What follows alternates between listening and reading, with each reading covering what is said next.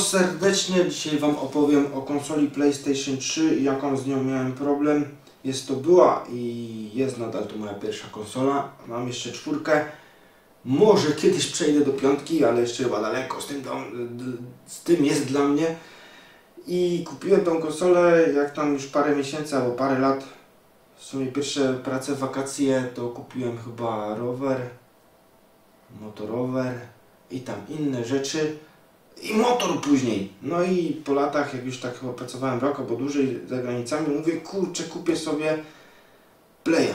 Bo brat miał dwójkę, zawsze mi się też marzyło. I zakupiłem, to było drugiej generacji, ta uboga wersja na Europę, bo na Stany Zjednoczone taka kropka tu była z podnośnikiem i mogliście grać jeszcze z gry na PlayStation 2 jedynkę. tu chyba tylko jedynka tylko wchodzi. 40 giga mała pojemność, ale dla mnie to wtedy było zajebista rzecz. Pierwszą grę, co, co było w tym zestawie, to było Inferno. To była taka gra, że mieliście bohatera z przyszłości, mogliście być dobrą albo złą postacią. Ja zagrałem ją tylko jako dobry i zawsze jeszcze mi korci, żeby do tego wrócić jako ten zły i zobaczyć jak to pamiętam, jak się w to grało. Na pewno jeszcze wrócę. I od razu też sobie kupiłem, to była jedyna e, gra, którą kupiłem jako nowość i chyba za ponad dwie stówy. A resztę mam sporo gier, ale zaraz się dowiecie jak je zbierałem jak je kolekcjonowałem. To był box, bo byłem fanem i od razu chciałem grać i nadal do tej pory sprawia wiele uśmiechów, jak, jak gram w tą grę. Można się, znaczy, no nie wiem, bawi mnie to zawsze, bo nigdy nie dostaję wtedy po twarzy, ja też lubię box. No i można się pobawić z przyjaciółmi. Jeszcze kurczę żałuję, bo na PlayStation 3 było tak jeszcze, że mieliście darmowy abonament i internet, że mogliście grać, że tak powiem, gry online za free, ileście chcieli i ta rywalizacja w tym boksie była przepiękna. I w innych grach tak samo. Żałuję, że niestety tego jeszcze nie, już nie ma. Jak sobie przypomnę Uncharted i to wszystko, co tam można było robić, e, Co-Operations, to pięk, piękna sprawa, naprawdę piękna. No i tak, później wyjechałem do Anglii, miło ten czas wspominam, a tam były second handy, wchodzicie i macie pełno gier, możecie wymieniać, kupować od tam 15 do 10 do 5 nawet funtów i ta kolekcja mi się o wiele zwiększyła. Później jeszcze w Polsce parę, jak już wróciłem, dokupiłem na Allegro jakichś używanych. Teraz nie wiem, te gry chyba z Playa stały tanie, ale ostatnio też spotkałem na Olixie, a wyprzedają na przykład, nie wiem, tam była jakaś mała dziewczynka o, od swojego wujka sprzedawała gry i można było drapnąć po 30-40 złotych albo nawet 15 zł za grę. Lata poleciała, ta kolekcja mega urosła. Powiem Wam, że niektóre są tutaj jeszcze pozycje, co musiałbym zagrać, bo na przykład Dance Stars Party chyba tego nie testowałem, a tańczyć można by było lepiej. I to jest dużo gier też na ten, na te joysticki, mowa i kamerę. Świetna sprawa to była, kumpel miał Xboxa 360 i miał Kinecta? Tam się to zaraziłem, mówię kurczę i powiem Wam, że ten Kinect z jednych spraw był lepiej, jak nie mieliście nic w ręce, ale był mniej dokładny od tych, od tych, że tak powiem, padów, co musieliście trzymać. Jeszcze kurczę, teraz mnie kurczę, żeby to odpalić i pograć znowu tam w tenisa.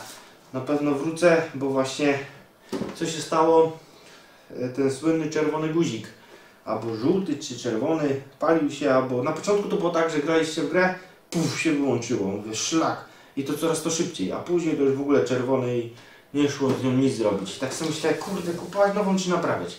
Wpisuję naprawa konsol w Gliwicach, dwa podejścia, jeden młody chłopak, świetne opinie, mówię, jadę tam. Mówi 190 przeważnie styki są y, przepalone albo coś tam to wszystko powymienia, znaczy poprzepala jeszcze raz te styki, będzie ok. No i było ok, ale parę gier Głos mi padł i znowu zaczęła się wyłączać. Mówię, szlak, kurde, 190 zł w plecy. Chłopak się nie odzywał, ale nie będę mu psuł, psuł opinii, niech mu tam będzie. I mówię, dobra, ostatnia próba.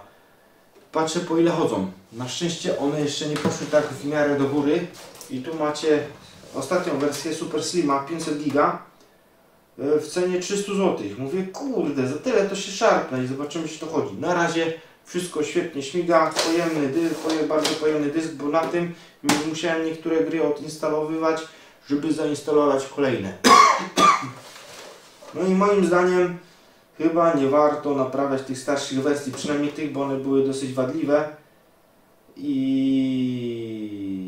i chyba się nie opłaca. Możecie przynajmniej jak na teraz, nie wiem jak to zobaczycie może kiedyś, albo w przyszłości może tak być, że te konsole już będą nieuchwytne albo jeszcze droższe, a tu macie o wiele pojemniejszy dysk, szkoda, że nie ma ile, ile na niej było przegranych godzin. No i mniejsza jest, w ogóle prawie nie hałasuje, jeszcze nie ma tych e, części ruchomych, może kogoś to wkurza. Tam było fajnie, bo wyjeżdżała ta płyta, ale powiem Wam, że już miałem takie momenty, że niekiedy nie chciałem ją wypluć, ta, ta konsola tej płyty. Tutaj wsadzacie i gracie. Nie wiem, ciekawe co Wy uważacie. Czy warto naprawiać, czy warto kupić używaną, jak coś się zepsuje. Niestety nic nie jest wieczne i trzeba albo inwestować, albo naprawiać, albo nie wiem, zakonserwować, czy gdzieś przechować, czy po prostu nie trzymać. Też tak myślałem, że właśnie sprzedać to, sprzedać te gry i iść cały czas coś nowego. Ale ja na przykład jestem bardzo sentymentalny i niekiedy lubię sobie pograć w coś starszego. Szkoda, że właśnie już ta sieciówka tam nie działa. Ale też powiem Wam, że fajnie jest w ciekawości odlecieć na przykład e, w właśnie te starsze zobaczyć gry jak to wszystko się pozmieniało graficznie, wspomnienia, albo na przykład te jak e, bratankom czy bratanicy włączę i pokazać im jak to jeszcze kiedyś było i że też było fajnie grywalne. Już nie mówię o takich grach, gdzie ja zaczynałem na Pegasusie czy na Amidze.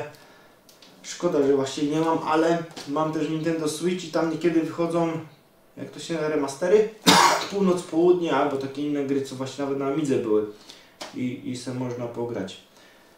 A może jeszcze kiedyś nawet przejdę do, do piątki, bo jeszcze w czwórce playu nie pograłem dużo gier, a jeszcze sprawnie wszystko tam chodzi.